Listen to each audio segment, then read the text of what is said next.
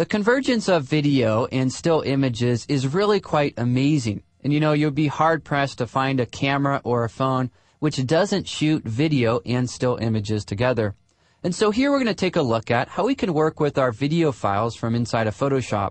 We'll start off with a simple task. We'll take a look at how we can bring a clip into Photoshop, how we can change its color and tone, and also add perhaps some copy or some typography to the clip.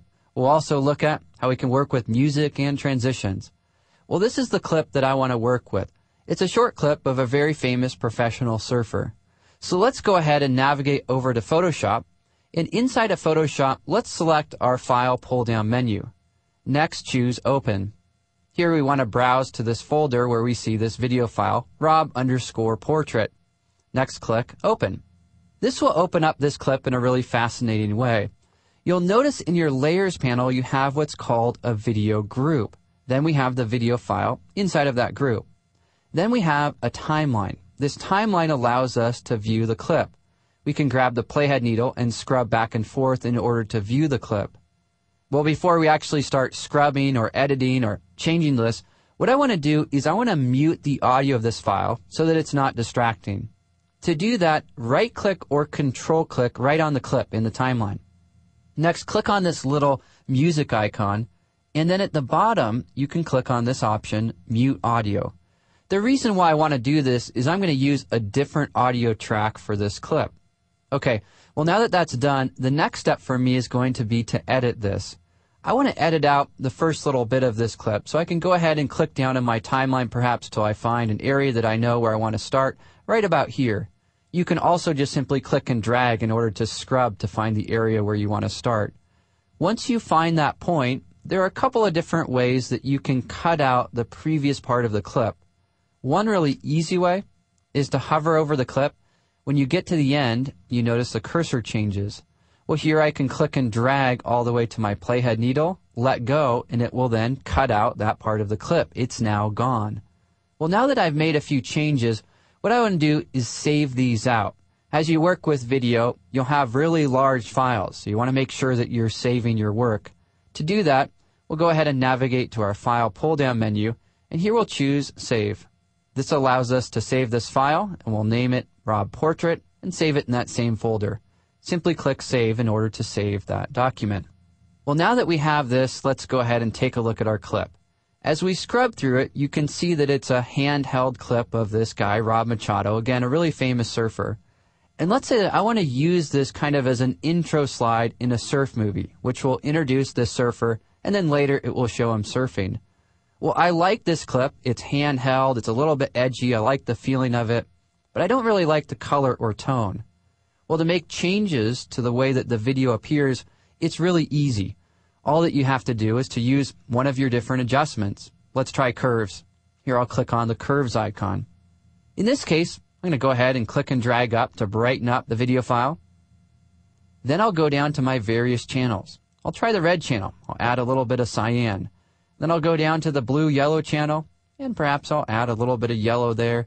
And then maybe perhaps the green channel, add a bit of magenta. Now the point here isn't to follow along with these specific adjustments, but rather to highlight that you can use all of these different adjustment layers in order to change the way your video file appears. Take a look at it. Here's our before, now here's our after. We can also zoom out a little bit. On a Mac, press Command minus. On Windows, press Control minus this way we can see this a little bit better here. And here again is our before and after. I kind of like this yellow cross-process type of aesthetic. All right, well now that we've modified the clip, we've edited it, we've changed its color and tone using an adjustment layer, what I want to do next is I'm going to close my properties panel and I want to start to add some transitions. Transitions in Photoshop are extremely easy. You'll notice there's this little square icon if you click on this, it allows you to determine or to choose some transitions. Let's say we want to fade from white. We'll just click drag and drop, and there you have it. This clip will now fade from white, and we can play this in order to see how this works. Now, if the clip happens or if the transition happens too quickly, you can hover over it and click and drag to extend it. You can make it longer or shorter by simply clicking and dragging.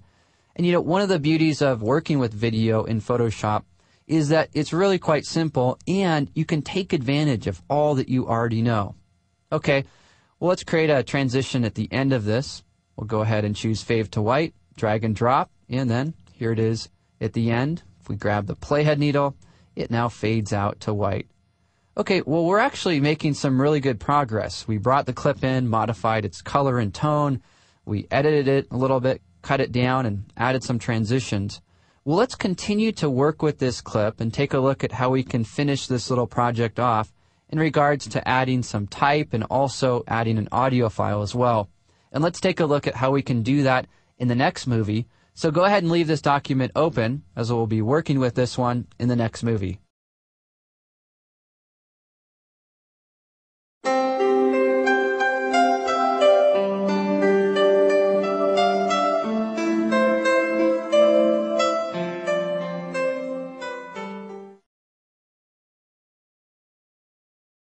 Here in this movie, we're going to continue to work with the same video clip, yet here we're going to focus in on how we could add some type and how we could fade that type in, and also how we could add an audio track. Well, in order to add type, what we want to do is create what's called a new video group. You can do that by clicking in your timeline on this little icon here. Go ahead and click on that, then choose New Video Group. You notice that you now have a new folder or video group. Next, select the Type tool, you can do that by clicking on it in the Tools panel. Then I'll go ahead and click on the image. I'm just going to type out this particular person's name, Rob Machado. Next, press Command Return in order to apply that type. Here, I'll select the Move tool. I'm going to go ahead and reposition this. I want this to show up right about here. Well, now currently the type shows up at the beginning of this movie file. I don't want that. So just click and drag and move it over. Here I want it to show up a little bit further down the line so that here he'll turn his head. Then once he does, we'll have his name show up there. Okay, well, I want to modify this typography a little bit. I can do so, say, by adding some layer style effects. To do that, simply double click the layer. Here we'll add a drop shadow, also a brush stroke around this. The brush stroke that I'm going to add is going to be a white brush stroke, so I'll choose that option here, and then click OK. After you've dialed in the effect, here you can simply click OK. And again, this is the same as it is with regular Photoshop. We're just simply modifying this text layer. Well, with this text layer, I want it to be a little bit transparent. So I'm going to decrease or diminish the fill amount.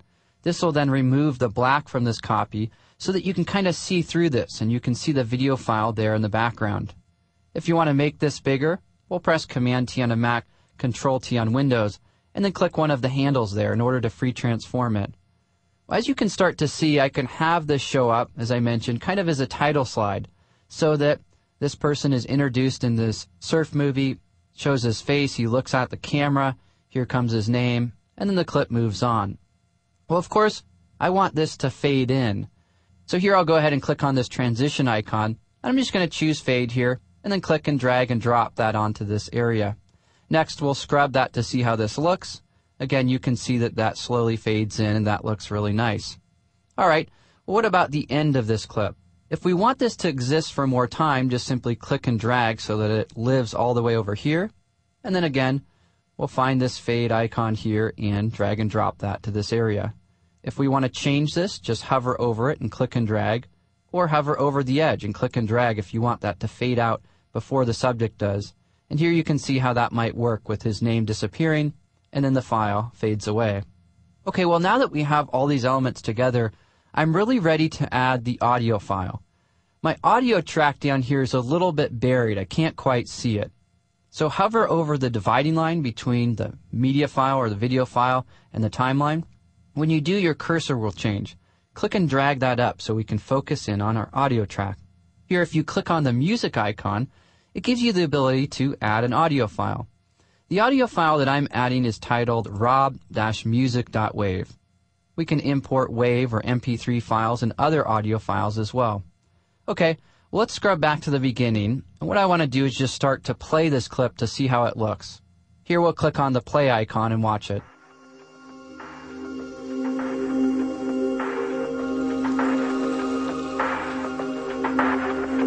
All right, well, that looks good, except that the audio file, well, it goes on and on and on.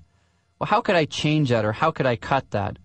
Well, if you make your way to the end here, what you can do is simply click on this clip and then go ahead and click on the scissors icon. That will create a cut. You can see that it cut this music file into two pieces.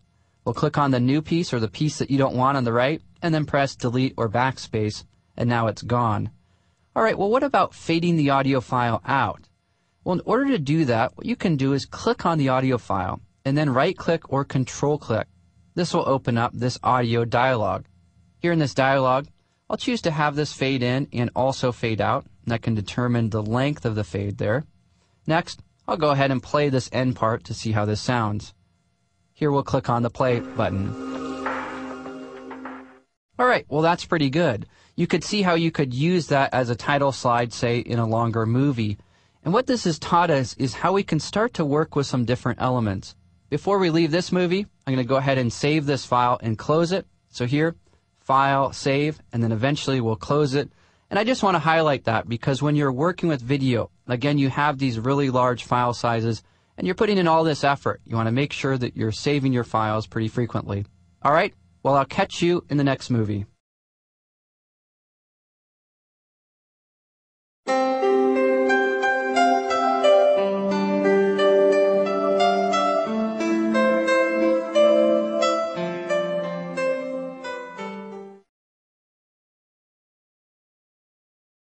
Now that we know a little bit about working with video in Photoshop, what I want to do is dig deeper.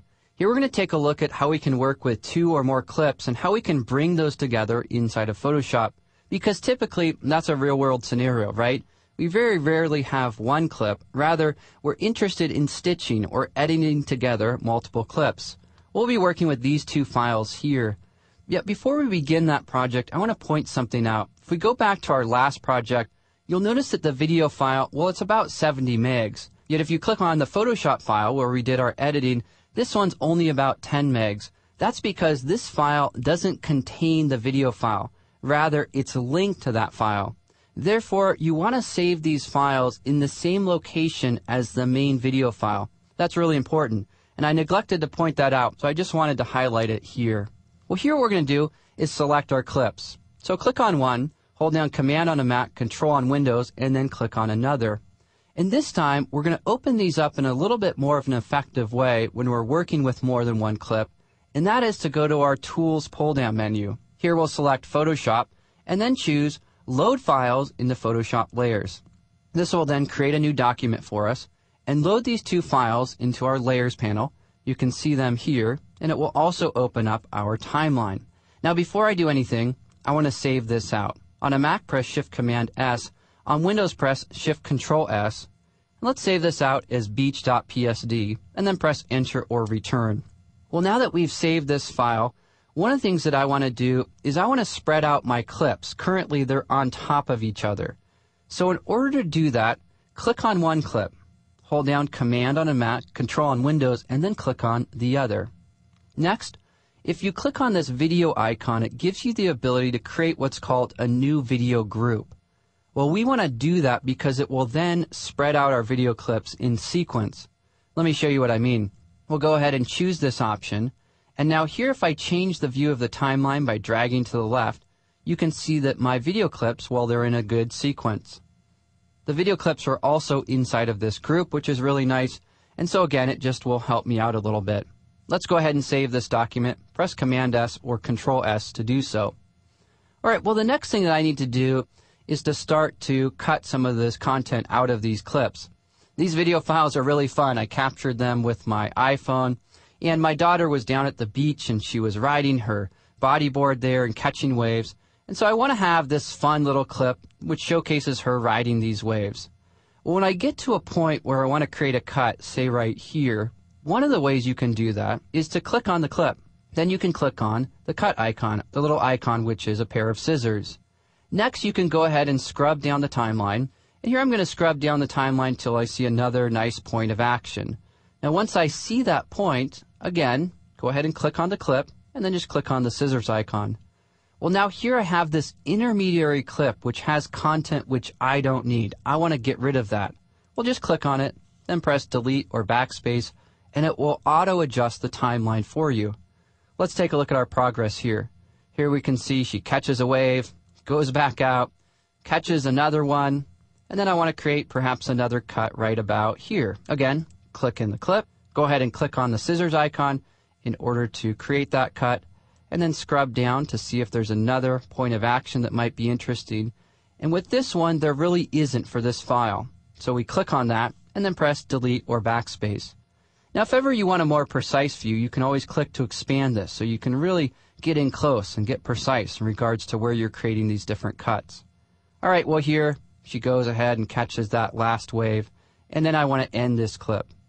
Another way that we can edit or cut is by hovering over the edge of the clip and then just simply clicking and dragging.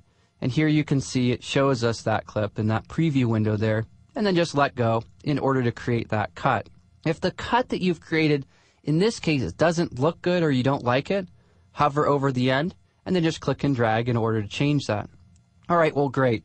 Well, here, essentially what we've done is we've taken two clips and we've turned it into three.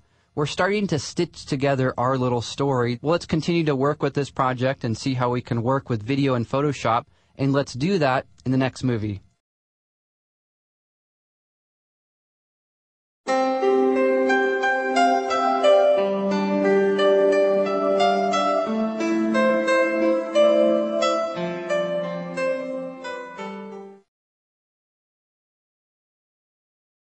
Before you get too far along in one of your video projects of bringing multiple clips together, you really want to bring in your audio track. The audio track will help you determine what type of edits or transitions you want to make. Well, we've seen that what we can do is we can go to the audio well, and here we can click on this music icon, and then choose Add Audio.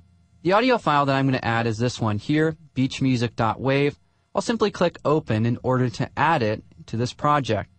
One of the things that I need to do now is I need to watch my movie and evaluate it and listen to the music. So I'll go ahead and scrub down the line here, and I'll choose a starting point perhaps right about here, and then I'll press play and kick back and watch. Let's take a look.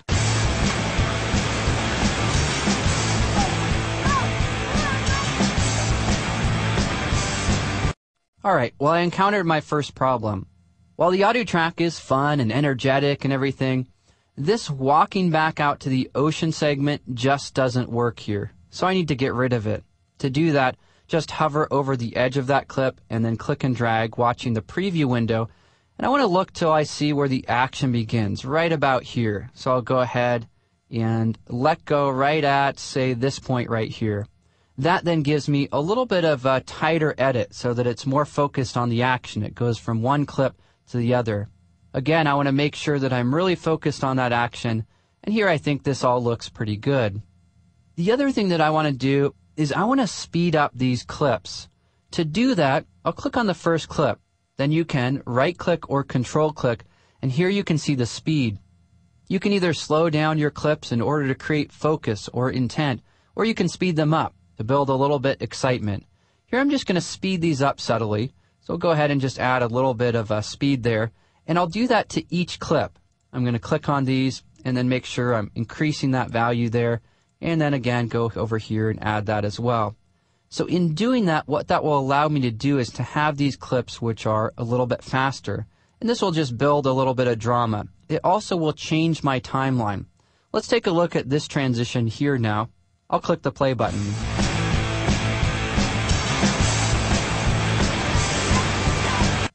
All right, well, that built a little bit of energy or excitement. The next thing I need to do is to add my transitions. So here I'll go ahead and click on this icon, which allows me to open up my transitions, and I'll use some crossfades. Here I'm just going to click and drag and drop those in between these clips. The other thing that I'm going to do is add a fade at the front, and then also a fade at the end. Now with the audio file, we've seen before that what we need to do is to trim or cut that. I'll move to that location and then click on the audio clip and then click on the scissors icon. That allows me to cut off the rest of that audio file that I don't need. Next, I want to right click on the audio file because I need to have a fade out here and also a little bit of a fade in. Okay, well our story is really coming together. Let's take a look. Here we can see the clip starts, fades in, then we have a cross dissolve, another wave that was caught, and then yet some more fun on the beach, and then one more wave that is caught by my daughter Annie here. Well, one of the problems though is that these transitions, they're just fading to nothing. I don't have a background color in this document. So this isn't really going to work for me. I could either create that background color or what I could do is change these transitions. There are a couple of ways that we can change them. One is you can click on it and then right click. And here what I'm going to do is go ahead and choose fade with black. What that will do for this transition is it will allow it to then fade from black rather than fading to transparency. As well as with this one, I'll select fade with black. Let's go ahead and preview that. You can see how those now fade all the way to black. Going back to the beginning here, you can see how this one comes up from black and then it starts. Okay, well let's take a look at the beginning of this. We'll go ahead and watch this one one more time. Here I'll click on the play button.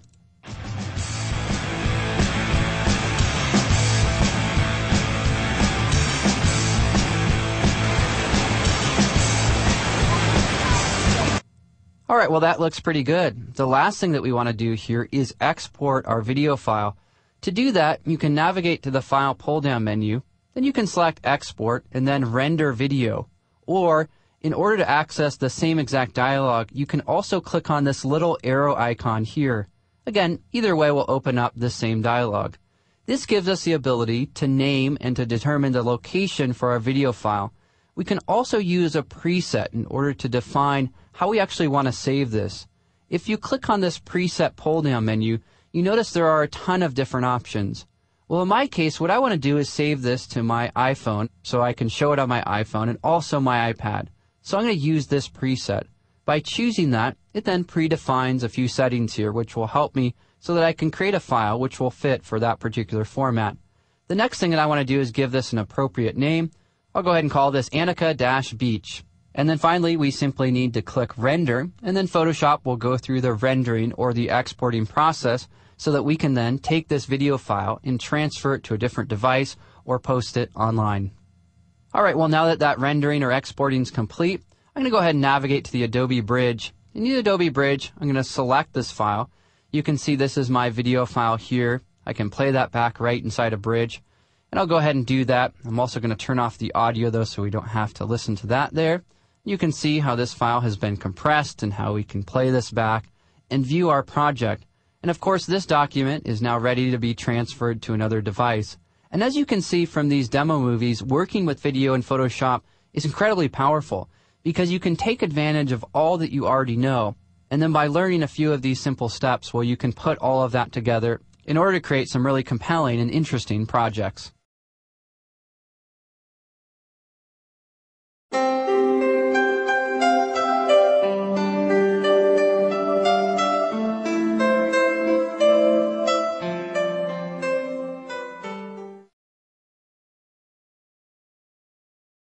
In this last movie on video, I want to highlight how you can get really creative with your video clips in some non-traditional ways.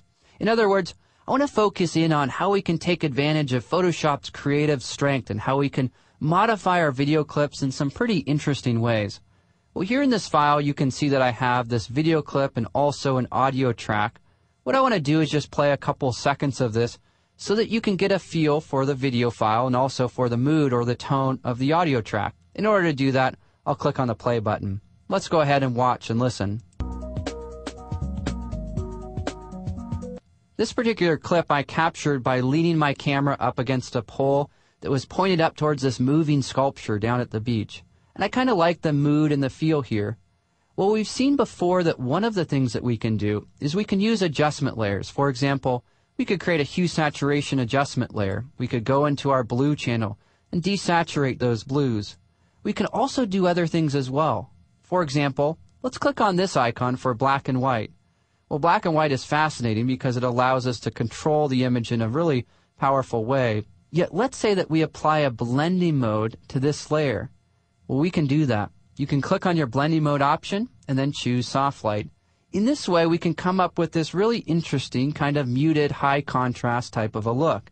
Take a look at this. Here's before and now here's after. The whole point of this is that the things that we can do in Photoshop to our images, we can now do our video clips. Well, what about taking this even further? Well, one of the things that you can do is you can click on your video clip right here. You can go to the Filter pull-down menu and select Convert for Smart Filters. this will convert this to a smart object. Once you've done that, you can apply different filters to your video file. Let me show you what I mean. If we go to the filter pull down menu and then go to blur, let's choose a blur, say like radial blur. By choosing a radial blur in a center and a certain amount, we can click OK and then apply that blur to this clip. As we scrub the clip, we're going to see that blur take place or affect the clip. If ever we don't like it, well, just click into the smart object later and you can then turn that off. And this is really the power of working with smart objects is that you can apply all of these different filters and it's editable.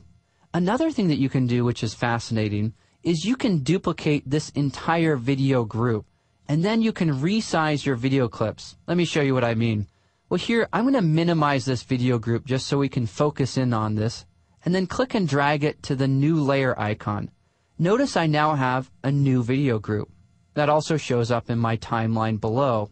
The next step for me is going to be to free transform this.